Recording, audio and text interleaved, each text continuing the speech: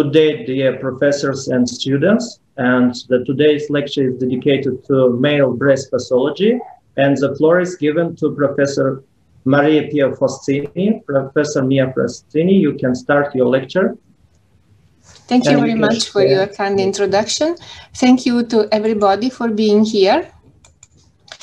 Uh, good morning to everybody. Uh, yesterday, it was the um, ca- ca- World Cancer Day, um, a, a day organized by the Union for International Cancer Control.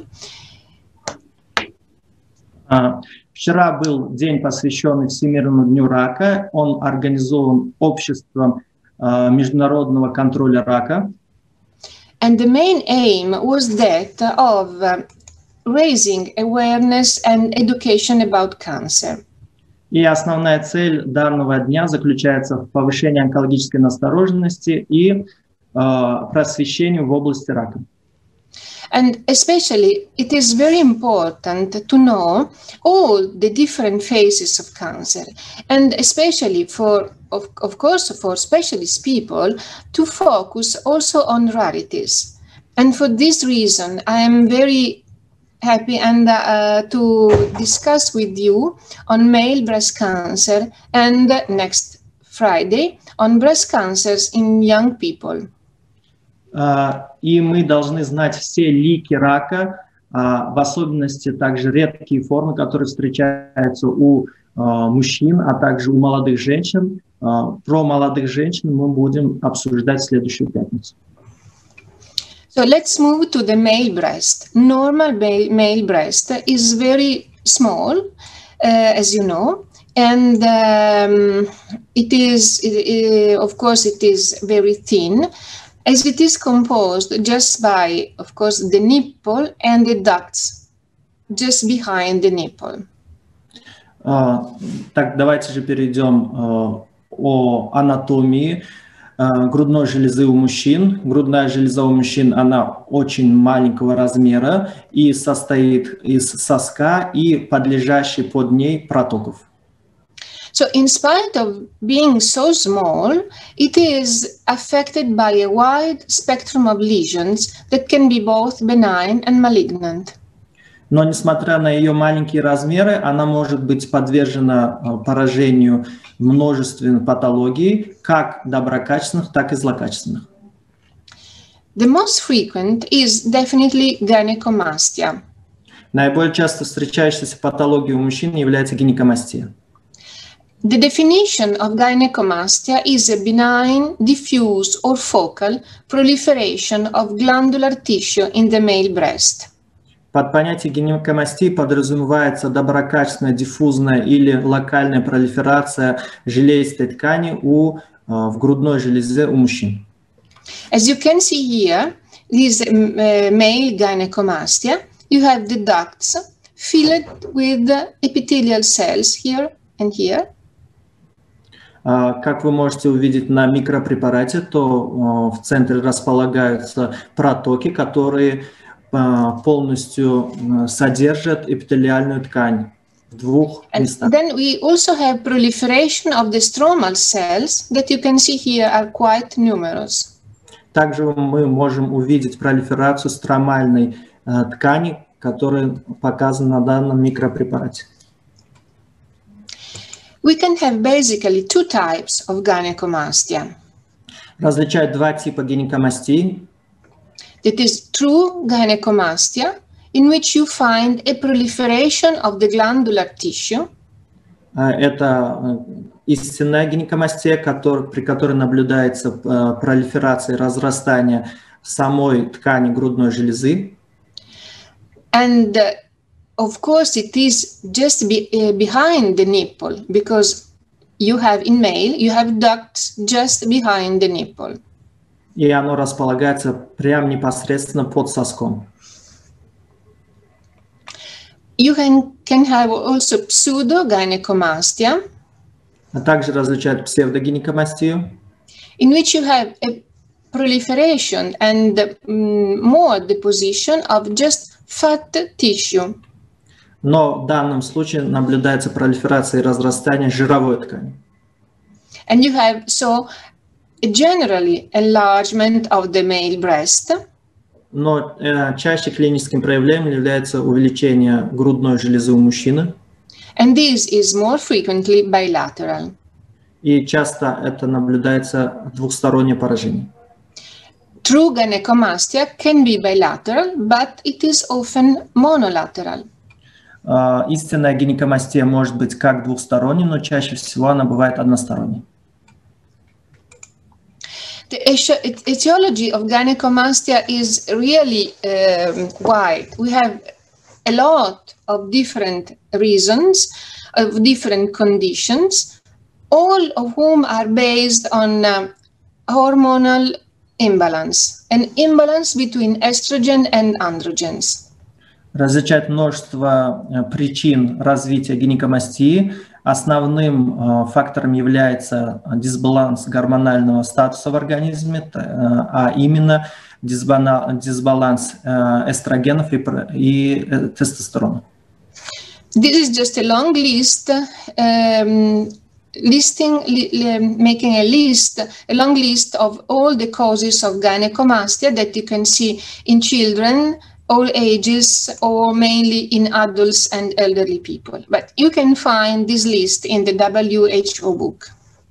А, На данном слайде, на данных двух слайдах указаны различные этиологические факторы развития гинекомастии.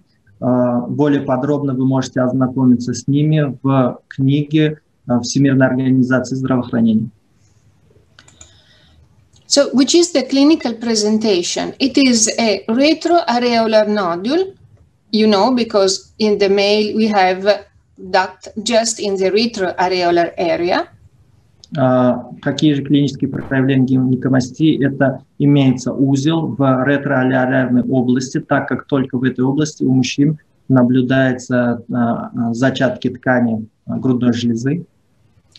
It, the nodule is mobile and hard in consistency on palpation. А, Данный узел а, подвижный и при пальпации твердый. But then, of course, the differential diagnosis should be done with an early phase of male breast cancer. А, Но также нужно всегда а, а, исключать рак молочной железы у мужчин. And you can do it with fine needle aspiration cytology or И fine needle aspiration biopsy.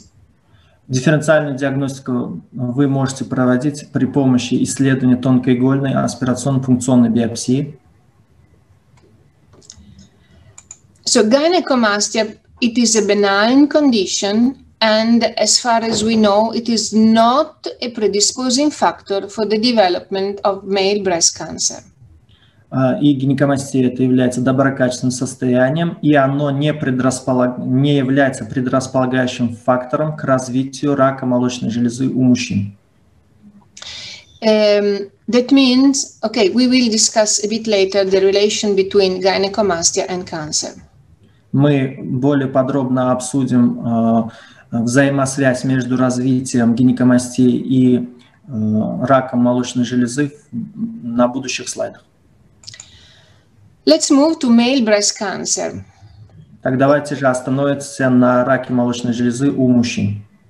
It is rare, indeed, about 1% of all breast cancers.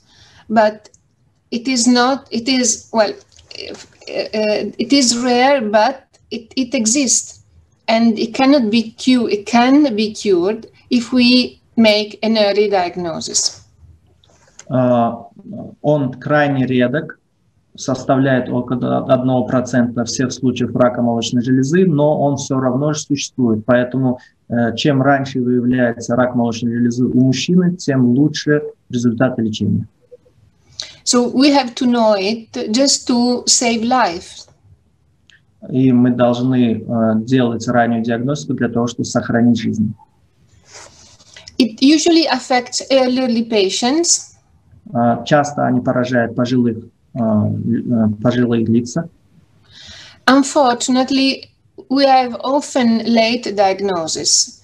И, к сожалению, мы часто диагностируем э, рак молочной железы у мужчин в поздней стадии. and late diagnosis mainly because the patients uh, are really ashamed to present and to say to the doctor, I have a breast nodule. They feel, uh, I mean, very uncomfort to go to a in a place field of female patient and to find themselves themselves among females.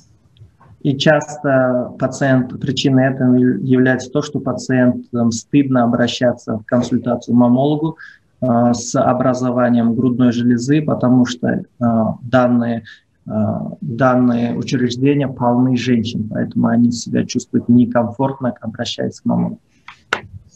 The general prognosis is usually similar to the female breast cancer, and of course, it, uh, it differs according to the stage at presentation. Uh, uh, прогноз рака молочной железы у мужчин практически идентичный раку молочной железы у женщин, но он часто связан со стадией заболевания во время обращения к врачу. The knowledge on male breast cancer is still quite limited, especially if we compare to the female breast cancer. Знания о раке молочной железы у мужчин крайне ограничены по сравнению с теми знаниями, которыми мы обладаем про рак молочной железы у женщин.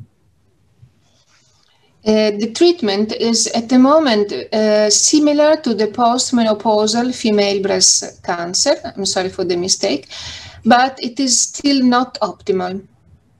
Лечение, оно идентичное к ведению пациенток в постменопаузе у женщин, но у нас все же не имеется достаточных знаний об этом. So now we will discuss about these four points. Сейчас мы будем разговаривать о этих четырех моментах. Let's start from the predisposing factors. Давайте поговорим о предрасполагающих факторах. So, um, of course, we can have genetic predisposing factors, among which the mutation of BRCA2 are definitely the more frequent. Uh, также одним из предрасполагающих факторов является мутация BRCA1 и 2, но наиболее часто это BRCA2. And but also uh, you should remember very well the Klinefelter syndrome. Uh, также мы должны не забывать о синдроме Клайнфельтера. You, you remember that the Klinefelter syndrome is characterized by a chromosome set of XXY. Uh, you have two X chromosomes. Вы помните, что там наблюдается хромосомное, э, хромосомное изменение в плане то, что э, э, генотип составляет X, X и Y. We will see in, uh, in a few slides before, uh, that X chromosome carries the androgen receptor and all its regulations, regulators. So, a patient having one more X than normal male uh, patients have an increased risk of breast cancer that is 20 to 30 times more than the general population. Мы должны знать, что X-хромосома несет в себе информацию об андрогенах, и у пациентов, у которых имеется двойная, две X-хромосомы, у них 20-30 раз – увеличивается вероятность развития рака молочной железы среди мужчин по сравнению с общей популяцией. Then we can have other predisposing factors like this gonadic dysfunction, obesity, alcohol abuse, radiation exposure. Basically, you can have all mm, conditions leading to a hormonal imbalance predisposing to male breast cancer. К другим предрасполагающим факторам относятся дисфункция гонад, ожирение, употребление алкоголя, а также радиация. Но можно также причислить сюда другие факторы, которые приводят к дисбалансу гормонов. Which is the relation with gynecomastia? Так какова же связь с гинекомастией? Okay, gynecomastia is not a predisposing factor, as we said before. That Uh, means Гинекомастия не является предрасполагающим фактором, как мы говорили ранее. This means that patients with gynecomastia, I mean, gynecomastia carriers, have no increased incidence of male breast cancer when compared to the general male population. А, Это было выявлено при пр- проведении эпидемиологических исследований сравнении э, пациентов с гинекомастией и нормальных э, у пациентов, у которых не было патологии молочной железы, у них никакой разницы в риске развития э, рака грудной железы не наблюдалось. But then we can have in situ carcinoma occasionally found in gynecomastia. А, Но имеет случаи, имеются случаи развития внутрипротоковой карциномы у пациентов с гинекомастией. as well as we can have uh, invasive carcinoma arising in gynecomastia. И также наблюдается casual association. А, Также наблюдается э, единичный случай развития из внутрипротоковой карциномы инвазивного рака а, у пациентов с гинекомастией. That means that you have clinically to study very well with histology all cases, all male breast presenting with a nodule. А, В связи с этим мы должны очень тщательно подходить к вопросам диагностики, а, диагностики патологической оценки у пациентов с наличием образования в грудной железе среди мужской популяции. This is an example, as it is reported in the literature, of DCIS, duct in situ carcinoma, you can see here, in uh, associated with gynecomastia. На данном слайде вы видите клинический случай, который описывает а, наличие внутрипротоковой карциномы у пациента с гинекомастией. And you see that the patient it was very, very young, 25-year-old man. Э, И вы можете за- отметить, что а, возраст пациента был достаточно молодым, 25-летним. What, which is the presentation of male breast cancer? А, Какова клиническая картина а, рака молочной железы у мужчин? So, as the female breast cancer, it can have an in situ, uh, present, in situ carcinoma, invasive carcinoma. Then it can affect young and adolescent and adults. А, Как и рак молочной железы у женщин, он может проявляться в нескольких типах. Это внутрипротоковая карцинома, инвазивный рак, а, рак среди молодых и подростков, а также у взрослых. Here you can see in carcinoma. It can be an occasional finding in gynecomastia, as I told you, and this is very, very rare. 6 to 7% of, of all gynecomastia. Внутрипротоковая карцинома а, при а, раке молочной железы, ну вообще внутрипротоковая карцинома у мужчин встречается достаточно редко и составляет 6-7% случаев всех случаев гинекомастии. More frequently, it is associated with invasive carcinoma. А, Часто а, внутрипротоковая карцинома а, с- а, ассоциирована с инвазивной карциномой. Then we can have also pure in situ carcinoma in males, and this, of course, it is more rare. It, it can be seen also in young people. А, Но очень, ну, относительно редко мы можем встретить чистый вариант а, внутрипротоковой карциномы, который наблюдается в 10% случаев всех раков молочной железы у мужчин, а также 18% рака молочной железы у молодых мужчин. Usually, it is on average in um, men aged more or less 60 years. А, На данном слайде, ну, часто встречается внутрипротоковая карцинома у а, мужчин в возрасте примерно 60 лет, but with a very wide age range, as I told you. но возрастная, возрастная группа, они э, сильно варьируют. remember, it can pre- present also in young and adolescents. Также необходимо помнить, что а, он может встречаться как у молодых, так и у подростков. In situ carcinoma in men uh, usually present as a retroareolar mass, a retroareolar nodule, small, Внутрипротоковая карцинома у мужчин может быть представлена в виде ретроалеолярной опухоли. On rare occasion, it, it can be bilateral in gynecomastia, very rare, but it can happen. А, Реже он может быть представлен в виде двустороннего, двухсторонней гинекомастии. You can also have nipple discharge, remember, because it is usually in a, a retroareolar region, so you can have nipple discharge. Также мы должны а, помнить, что оно может быть представлено в виде выделений из соска, так как расположение опухоли наблюдается в ретроалеолярной зоне. You can also have Paget disease with nipple erosion. А Также оно может быть представлено в виде э, рака педжета, э, который м, выражается в эрозии соска. You see that in male also uh, you can have nipple erosion as well as you have in females, and then it is frequently associated with the in situ carcinoma of the retroareolar ducts.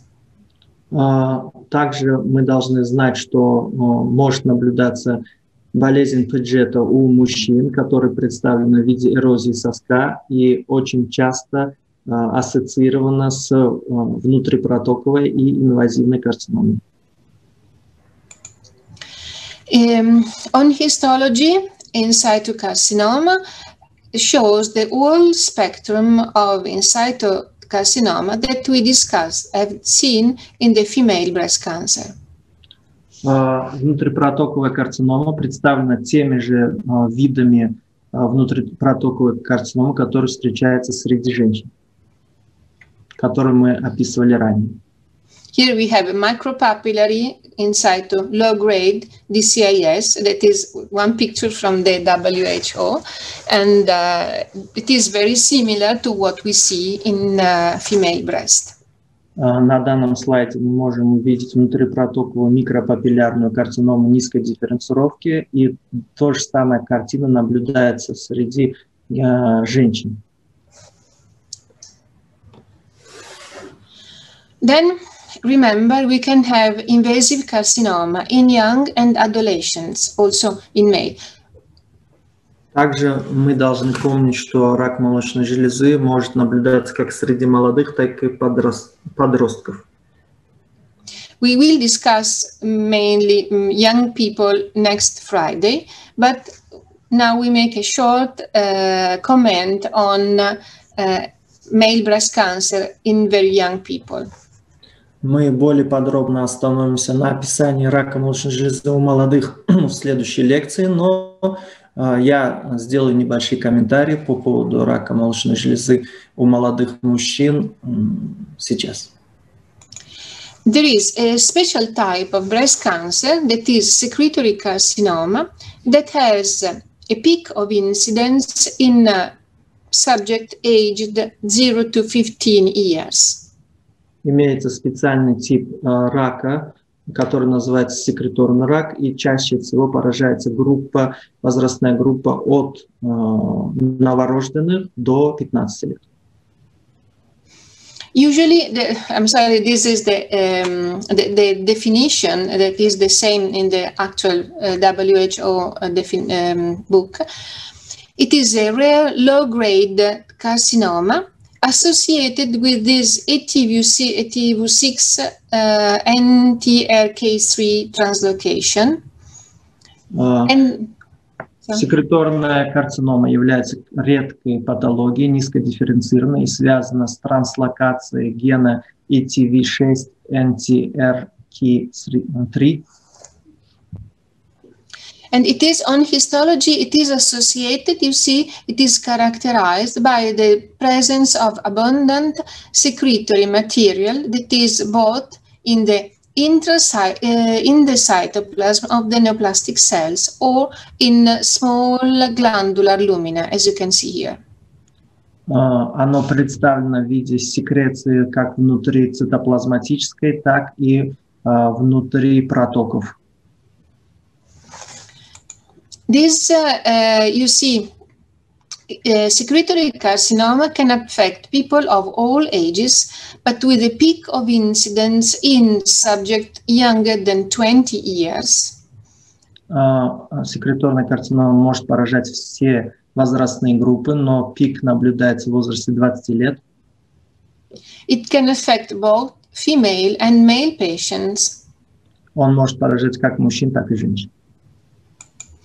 The presentation is a retroareolar nodule with nipple discharge. It is very well circumscribed and mobile.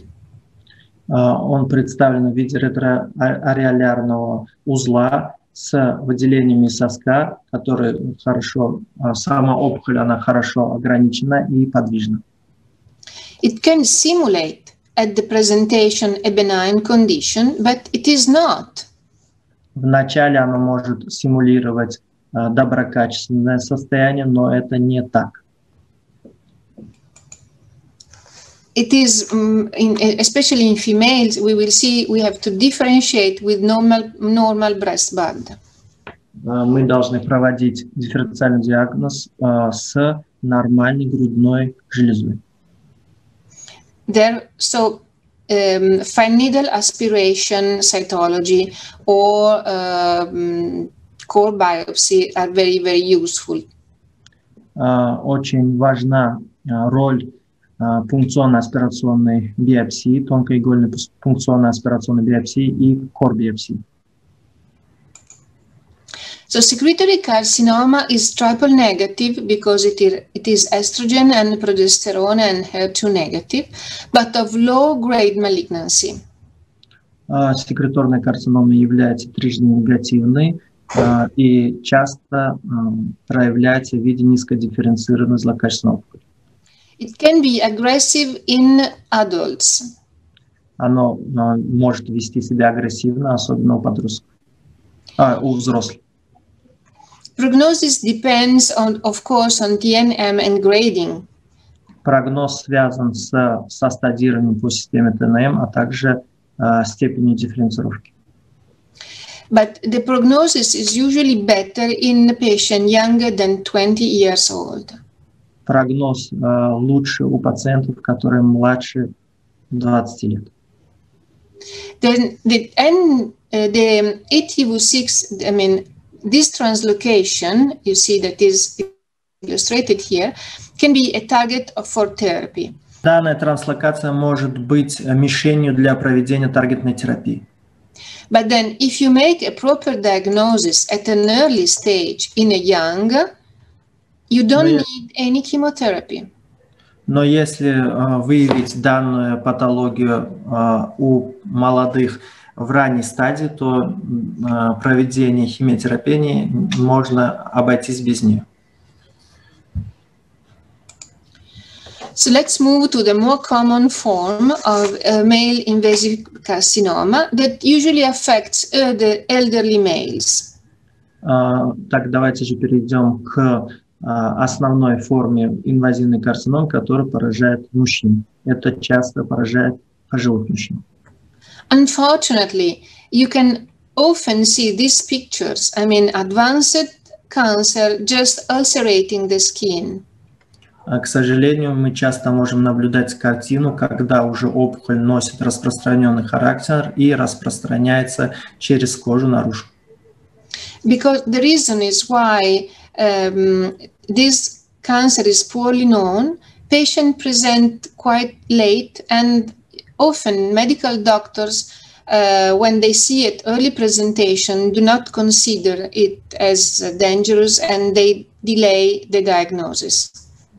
А, Часто а, проблемы в лечении и диагностике связаны с тем, что обращаясь к врачу, а, у самих а, врачей недостаточно наблюдается онкологической настороженности, и они это рассматривают как доброкачественное состояние, в связи с чем э, пациенты в дальнейшем обращаются в более поздней стадии.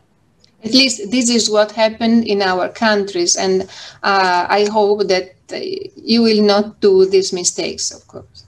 Uh, данное состояние наблюдается у нас в стране, и я надеюсь, что у вас эти ошибки не будут иметь место. So, differences between male and female breast cancers. Uh, различия между раком молочной железы у мужчин и женщин. Um, the, as I told you, the um, male breast cancer is not fully fully known. But uh, in 2017, this group published a large series. You see, 1,483 male breast cancer diagnosed in a span of 20 years. These are mainly European cases, so there may there may be some bias, but I think that is very important series. Uh, uh, имеется исследование, которое было проведено в 2017 году и включало в себя 1483 случаев рака молочной железы у мужчин, которые проходили лечение в период от 1990 до 2010 года. Большая часть мужчин – это европейской популяции, и проведено оно в Европе. So you can see that um, it affects usually, uh, sorry, elderly men because the, the, median age at the diagnosis was 68.4 years. Часто данная патология поражала пожилых мужчин. Средний возраст составил 68,4 года. You see that uh, um, the small the tumors are relatively small, T1 and T2. Вы можете заметить, что размер опухоли был не такой уж большой, это Т1, это 2. But in spite of being relatively small tumors, you see that the lymph node metastases were quite frequent, more frequent than in women. Но несмотря на то, что размер опухоли был крайне э, мал, э, у них очень часто наблюдалось поражение лимфатических узлов. Then on histology, we have more frequent the ductal no special type histotype. И что касается гистологической структуры, то чаще, чем у женщин наблюдался неспецифическая инвазивная карцинома. We can have basically all the types that we can see in female, but you see that the ductal no special type is definitely very the most most frequent 86.6% of the cases. У мужчин мы можем наблюдать все типы, гистологические типы рака молочной железы, но имеется преобладание протокового инвазивного карцинома неспецифического типа. Making grading, it is grade 2 is the most frequent. Наиболее частой степенью дифференцировки являлась uh, G2. And it shows very high estrogen and progesterone receptor expression using luminal A and luminal B. И вы можете заметить, что uh, часто наблюдался гормон чувствительной формы рака, это люминальный тип А и люминальный тип Б. It is usually retroareolar. Uh, часто это ретроалеолярное образование. You, in this large section, you can see the nipple of the male, and then you see the in situ carcinoma and invasive carcinoma all around here. Вы можете увидеть на макросрезе сосок, под которым имеются участки внутрипротоковой карциномы, а ниже участки инвазивного рака. On histology, you see this one, you see the in situ duct carcinoma component, and this the invasive component. It is definitely similar, very similar to the female cases. Вы можете увидеть во время микропрепарата как внутрипротоковые компоненты, так и инвазивный рак, но данная гистологическая картина, она практически идентична раку молочной железы у мужчин. then male breast cancer can express the same markers that we find in female breast. For example, um, it shows this um, NIBR, GATA3, mammaglobin, and so on. Uh, экспрессия маркеров также идентична экспрессии маркеров женщин. Это uh, еще есть дополнительные маркеры NIBR1, GATA3 и мамоглобин.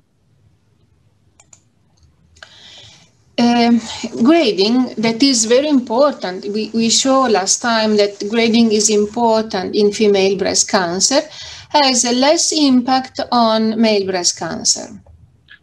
Если у женщин степень дифференцировки важна в прогнозе, то у мужчин особое различие в влиянии степени дифференцировки на прогноз заболевания не отмечается.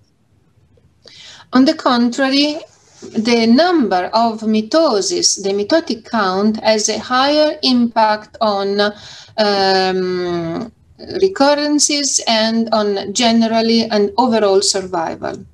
Uh, метатический, uh, метатическое число, оно носит более высокое влияние на uh, безрецидивную и общую выживаемость.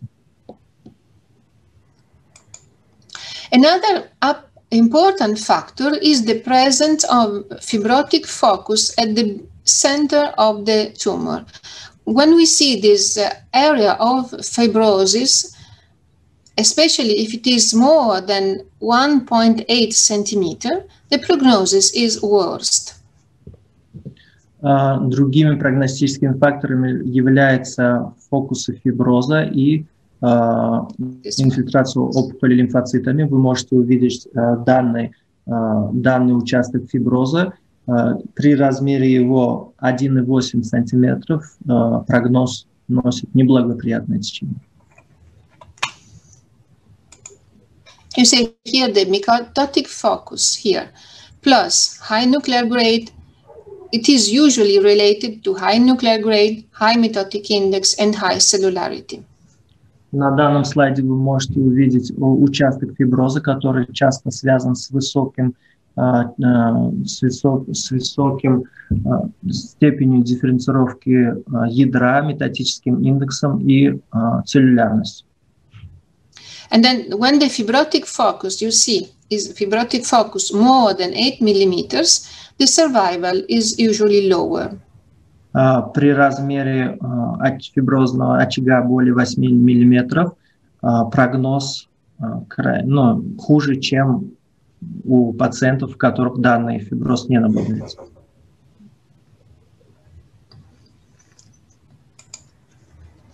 Then another important factor that is uh, emerging is the importance of androgen receptor expression.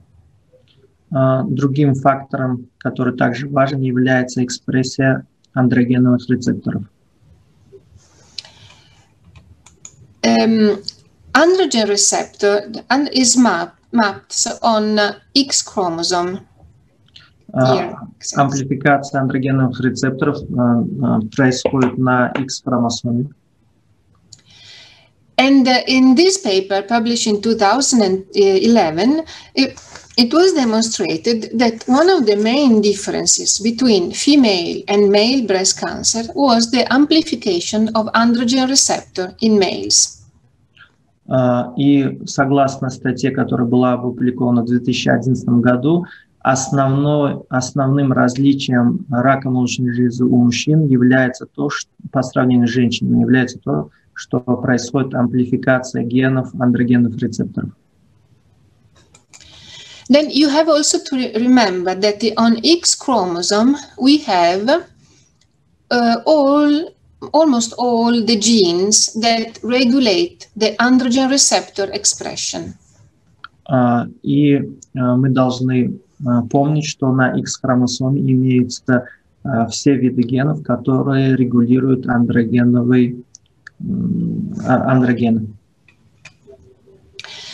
Tried to look in, uh, on in of fluorescence hybridization how many um, X chromosome and how many um, androgen receptor genes were present in uh, breast, male breast cancer. Here you can see the normal, um, it is, this is a gynecomastia indeed. Uh, normally, you can you in male you have one X chromosome that is mapped with the green signal, and one so one androgen receptor gene locus that is mapped with red signal. So you have one green and one red. Мы также проводили исследование, которое заключалось в том, чтобы определить различия в амплификации андрогенов рецепторов в нормальной ткани, а также при раке молочной железы у мужчин. И было обнаружено, что при нормаль... в нормальной ткани имеется один участок гена, который занимается регуляцией андрогенов. In male breast cancer, you see, in each cell we have more than one uh, X chromosome. You see that we have at least two and sometimes also three or four. Uh, and uh, we have, according a higher number of red signals, so a higher number of uh, androgen receptor genes. You see here, uh, we have one, two, three, four, five. It is one nucleus, 5X and 5 androgen receptors. А в то время как при раке молочной железы у мужчин в одном ядре наблюдалось более чем один участок амплификации андрогенных рецепторов на э, клетке, которая располагается в, лев, в верхнем левом углу. Вы можете заметить около пяти локусов э, X-хромосом, которые выделяют, э, которые ответственны за регуляцию андрогенных рецепторов. Um, so we compared, we made the first study comparing the um, NIC-X aneuploidy and uh, in 20 cases of male breast cancer, and you see that all of them had a quite high number of uh, extra X chromosomes. Um, и мы провели uh, анализ, анализ X хромосом, Ан, ан, анасомии X-хромосом и э, сделали вывод, что э, в данных случаях имеется большее количество X-хромосом.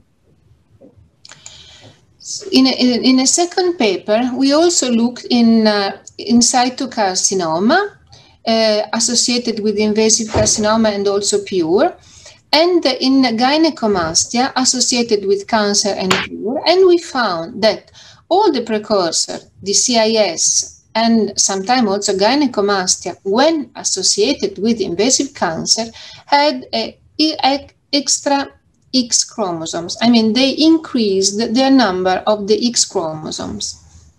И э, в другом нашем исследовании было выявлено то, что при инвазивном раке молочной железы внутрипротоковом раке, который ассоциирован с инвазивным раком молочной железы, при чистом варианте внутрипротоковой карциномы, а также гинекомастит, который связан с инвазивным а, протоковым раком, часто наблюдается дополнительная X-хромосома. This means that the uh, X chromosome imbalance is very important to predispose and to start the male breast cancer. И это является важным предрасполагающим фактором наличия дополнительной X-хромосомы, который может приводить к раку молочной железы у мужчин.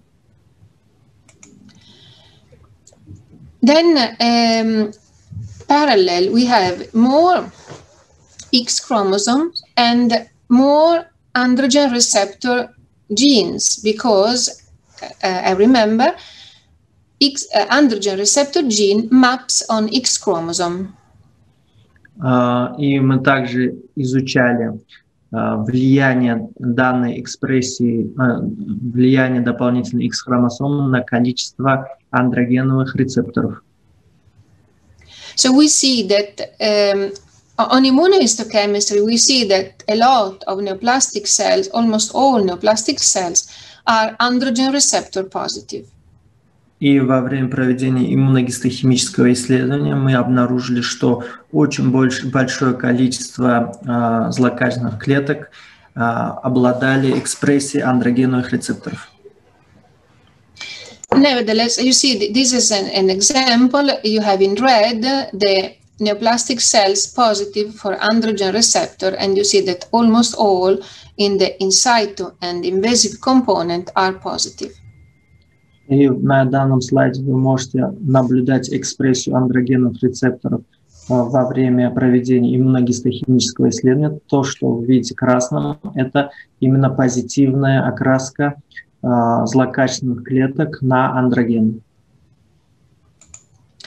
Then we wanted to see if all these genes are working because you can you know that sometimes the genes are present but they are not transcriptionally active.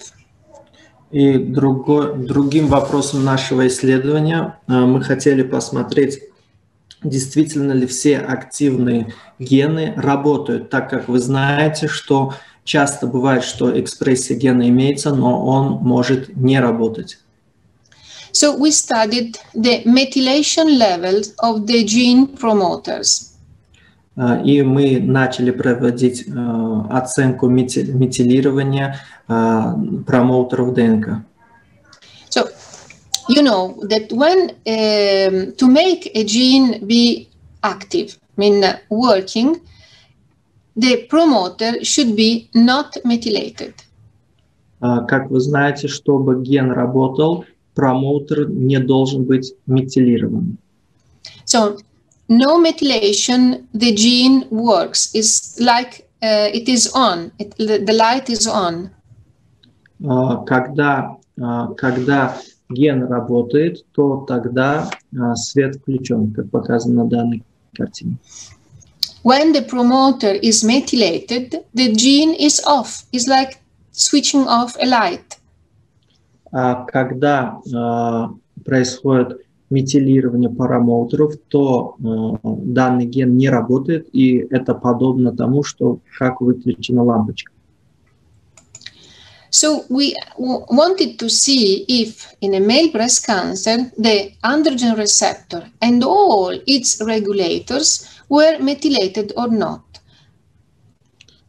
И также мы оценивали Э, как происходило э, метилирование различного рода генов. И метилированы они или нет. And we demonstrated that all androgen receptor and all its regulators are hypomethylated. И мы обнаружили, что э, все, практически все гены, ответственные за данный процесс, они слабо метилированы. That means that they are all working and producing androgen receptors. И это означает, что все гены, они работают и uh, продуцируют андрогеновые рецепторы. So um, we demonstrated that uh, X chromosome gain, we have more X chromosome in males, is a frequent and early event in male breast cancer. А, и мы сделали вывод, что при наличии дополнительной X-хромосомы чаще наблюдается а, рак молочной железы у мужчин, и он а, поражает более молодой возраст. We saw that androgen receptor genes are hypermethylated, so highly working.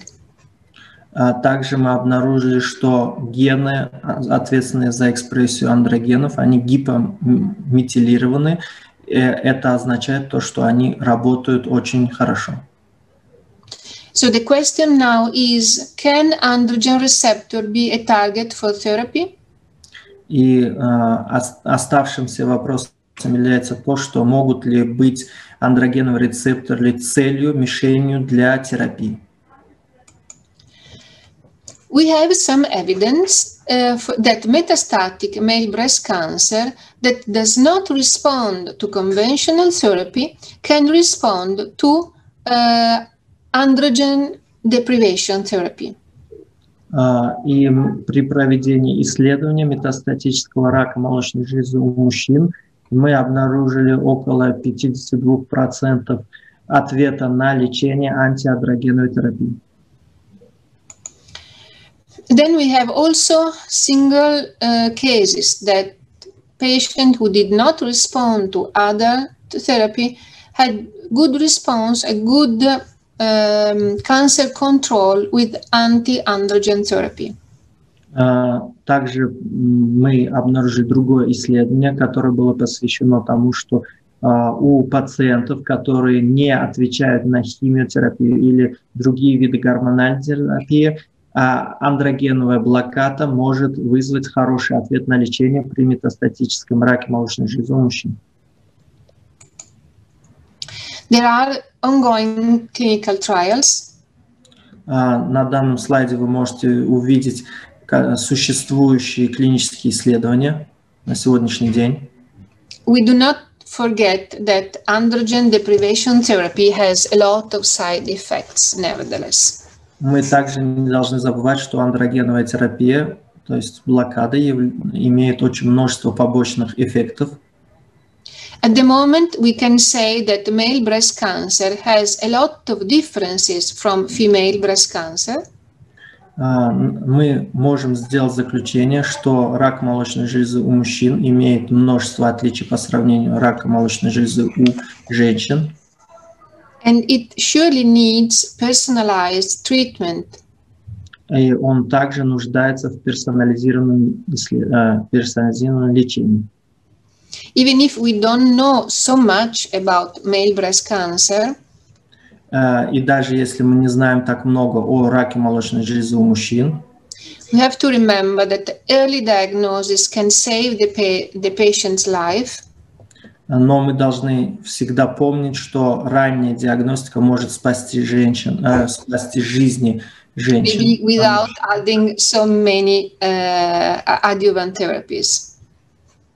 А, И мы должны помнить, что э, ранняя диагностика может позволить избежать нам ненужного лечения и использования адъювантной терапии э, у данного, данной категории пациентов.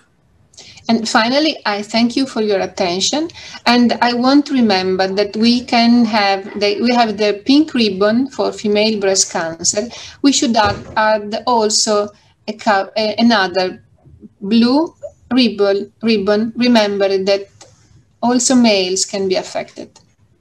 А, Мы знаем, что существует розовая ленточка, но также мы не должны забывать о синей ленточке, которая символизирует рак молочной железы у мужчин. I have one little Yes. question. Uh, it's very interesting where uh, we can uh, uh, there, there is some factors can influence to the men and the breast can be increased in size but there is no factors uh, to uh, uh, to increase the breast in women. I mean uh, a lot of women ask uh, doctor can i uh, apply some medicine or some drugs to increase the size of the breast? Uh, and it's very difficult questions and usually uh, surgeons told no only only surgical way you can put Yes. implants. Uh, but for uh, for men it's very easy to increase the breast size So- yes, but this is very dangerous. For example, uh, I, I didn't mention, but there is a point uh, very important. You, you, we, we are going to have a um, the increasing number of transsexual people. I mean, women that want to become men and men wanted to become women. So they take hormones to change their sexual status. And these hormonal intakes, both in women moving to men and men moving to women, they increase the risk of breast cancer. but uh, it from the other point i mean uh, the women would like to have bigger uh, Yes. breast size Because but it's impossible from the uh, to take some medicine or some drugs to increase it but it's very simple to increase the breast size in men even he would not like but yes, they can. wouldn't like yes, and uh, there is there are some papers, some expert on gynecomastia that they say that all men. Uh, experience a period of gynecomastia in their life. I don't know if it is true seems to me to be a bit too much. But if you look, for example, eh, to adolescents, young adolescents, men, and they're very shy of that, uh, they have a, some a period of increasing size of the breast until, I mean, they move to full, complete men, and so hormones uh, work better. And um, this is a big problem, especially for them to present and uh, in a female breast unit, then they don't want to see the doctors. And uh, this is very, very sad to me. And this is, uh, and also when they go to the doctor, the doctor say, "Oh, don't worry, it is nothing. Don't worry, don't worry." And then we see the invasive cancer, uh, maybe too late to be cured with simple surgery. And this is the main reason why I am working on male breast cancer. And me and my colleagues are making a lot of um, discussion and lot of presentation and a lot of lectures on uh, to on bre male breast. I hope that you agree with that. Yeah. So uh, we can we can uh, conclude our lecture and we can see uh, see you on the next Friday. Okay. So see you. We See you. Bye bye. Thank you very much.